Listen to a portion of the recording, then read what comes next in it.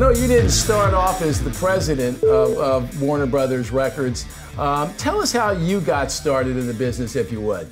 So I started as a DJ um, in high school, uh, and I was looking for any way to um, to get access to new music, to uh, be able to afford to buy more music to play out, and um, and to connect with artists and be a part of the a part of the business.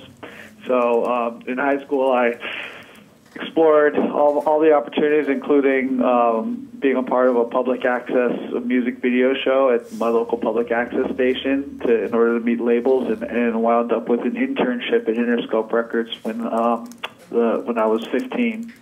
And um, through that internship, I um, I basically you know between rolling posters and, and packing stuff up for shipping, I I listened to conversations and understood that they wanted uh, marketing the high school uh, high school students, and I felt that you know I could handle some of those responsibilities, being that I was in high school and, and had a lot of relationships with people at other other LA City high schools.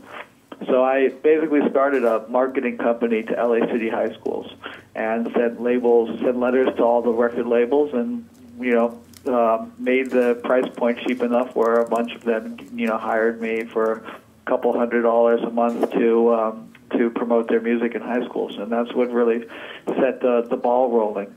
Um, and it also kind of um, it also sort of sets my number one rule for the music business, which is if you you know want to do something, you just you just start doing it, whether you're getting paid for it, whether you have an official position um, or not. You just start doing what you want to do, and then eventually, hopefully, someone will pay you to do it.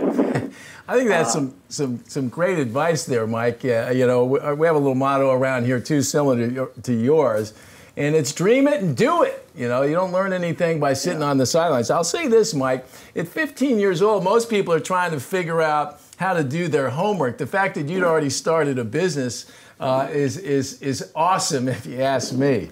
Well, you know, I, I don't know if I considered it a business or I thought about it consciously starting a business. I mean, I think, you know, I would send the invoices out personally and and um, it was just it, I, I don't think I was really worried about getting paid from everyone either. It was really just the exercise of it.